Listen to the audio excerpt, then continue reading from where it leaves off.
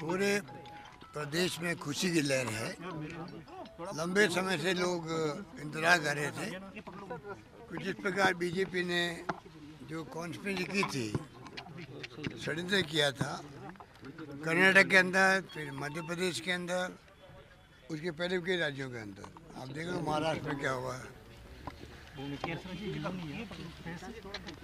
तो जो राज्यों में, ये गोवा में, मणिपुर में अरुणाचल प्रदेश में अंदर सब जगह इन्होंने ही काम किए। ताज़ा उदाहरण था हमारा मध्य प्रदेश का और कर्नाटका का। वही टैक्टिस अपने यहाँ पर। उस पर पूरी तरह एक्सपोर्ट हो गए लोग।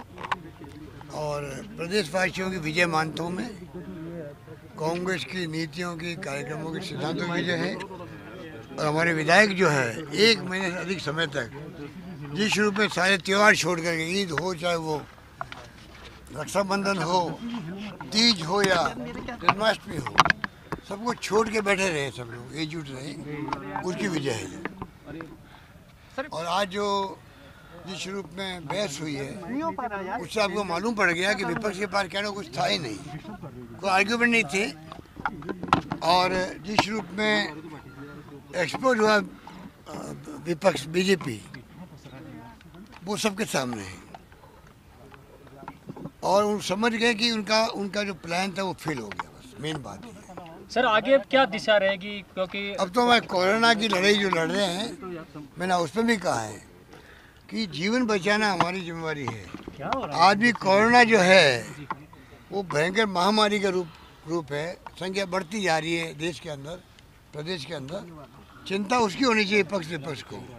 हम तो रोज़ वीडियो कॉन्फ्रेंसिंग करते हैं, रोज़ रिव्यू मीटिंग करते हैं, लगे हुए हैं और सबको साथ लेके चलना चाहते हैं। ऐसे मामले में ना कांग्रेस है ना बीजेपी है। सब मिलके हम कैसे काम करें? जैसे कोरोना फैले नहीं, आज मृत्यु दर हमने एक परसेंट लगभग कर रखी है, जो सबसे कम है देश के अंदर। हम चाहेंगे आगे भी मेंटेन रहे और भी कम, एक मर- एक भी मृत्यु क्यों हो। पूरा इंफ्रास्ट्रक्चर बन चुका है राजस्थान के अंदर। पूरी सुविधा यहाँ पर है। सबसे इलाज देश में कहीं हो रहा है तो राजस्थान में हो रहा है, और पूरा देश मान रहा है। डब्ल्यू एच ओ मान रहा सब मान रहे हैं। तो हम चाहेंगे, पक्ष विपक्ष अपील करना चाहेंगे। तमाम राजनीतिक, जो आरोप प्रत्यारोप छोड़ करके अभी एक उद्देश्य रखे, कोरोना का मुकाबला कैसे करें हम लोग, ये महामारी दिखती नहीं है। हो सकता आने वाले वक्त में उग्र रूप ले ले ये। सबको बचाव के जो एडवाइस की गई है, मास्क की की गई है, सोशल डिस्टेंसिंग की गई है, हाथ धोने की गई है, उसको सबको अवेयरनेस करना बहुत ज़रूरी है मेरा मानना आज सदन के अंदर जो प्रदेश की सरकार विश्वास मत लाई थी, उसको बहुत अच्छे बहुमत के साथ सदन ने आज पारित किया है और जो भी अटकलें लगाई जा रही थी, उसको आज विराम मिला है। मैंने सदन के पट में पटन में भी बहुत संक्षिप्त में इस बात को कहा कि जो कोई पॉलिटिकल राजनीतिक चर्चा थी या कोई विषय उठे होंगे, उस सब पर संतोषजनक संवाद करने के बाद कांग्रेस पार्टी के अध्यक्ष के माध्यम से सभी समस्याओं का समाधान निकालने के लिए रास्ता बना चुका है। और मुझे पूरा विश्वास है कि समयबद्ध तरीके से उस सभी रोड मैप का खुलासा होगा और हम सबके जो कंसर्न्स थे, उसको संतोषजनक तरीके से उसको डील किया जाएगा। जहाँ तक सदन के अंदर की बात थी, मैंने कहा कि कांग्रेस पार्टी के और कांग्रेस पार्टी के समर्थन में जो विधायक हैं, उन सबने एकजुटता का आज परिचय दिया और विपक्ष ने तमाम कोशिशें करी, लेकिन उसके बावजूद भी आज प्रचंड बहुमत के साथ सरकार के पक्ष में जो कॉन्फिडेंस मोशन मूव हुआ था, वो पारित हुआ है। इस बात की मुझे खुशी है। अब आने वाले समय में जो चुनौतियाँ हैं चाहे कोरोना की हो चाहे आर्थिक मुद्दों की हो चाहे किसानों की हो नौजवानों की हो उन सब चुनौतियों के लिए पूरा प्रदेश मिलकर काम करेगा और सरकार अपने बचे हुए कार्यकाल में पूरी ताकत के साथ लोगों की मतदाताओं के अरमानों को पूरा करने का काम करेगी?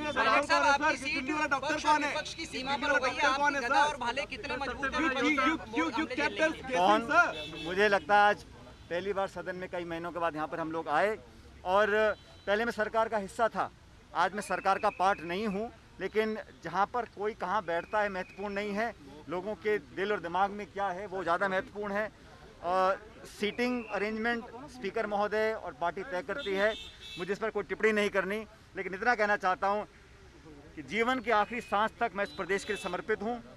कोई कितनी अटकलें लगा ले, कितनी अफवाहें फैला ले, लेकिन इस प्रदेश की मिट्टी ने मुझे जो मान सम्मान और प्यार दिया है, उसका जीवन भर मैं कृतज्ञ रहूँगा और अपने राजनीतिक जीवन के अंदर राजस्थान के लोगों का जितना भला हो सके, उस दिशा में काम करने का मैं प्रयोग प्रयास कर रहा हूँ। आज जो विधानसभा के अंदर बातें बोली गई, मैं समझता हूँ प्रदेश की जनता ने उसको सुना और जो सरकार ने कल हमारी जो मुलाकात हुई, उसके बाद जो संदेश गया, कांग्रेस आला कमान ने जो रास्ता इख्तियार किया है सारी बातों को सुलझाने के लिए, उसका लाभ पार्टी को मिलेगा, सरकार को मिलेगा। और आज सदन के अंदर तमाम बातें बोली गई, लेकिन ऐसा कोई ठोस तत्व सामने नहीं आया जिसके कारण सरकार को चुनौती हो। और आज बहुमत के साथ प्रचंड बहुमत के साथ सरकार का जो कॉन्फिडेंस मोशन था वो पारित हुआ है। सर आपने भाजपा नेताओं को कहा है कि हमारा अंदरूनी मामला है इसलिए आप लोगों को बिल्कुल सही बात है भाई। हमारी पार्टी में क्या हो रहा है नहीं हो रहा है हमें चिंता करनी है कांग्रेस हालकमान चिंता करनी है। भाजपा के नेताओं में कितनी पर्दे के पीछे छुरियाँ चल रही हैं इसका विवरण हम तो नहीं करते हैं और सब जानते हैं। कौन क्या कटाक्ष कर रहा है, कौन किस खेमे में है, ये उनका अंदरूनी मामला है। ऐसी कांग्रेस पार्टी का जो अंदरूनी मामला है, उसकी चिंता हम लोग कर रहे हैं और चिंता कर ली है।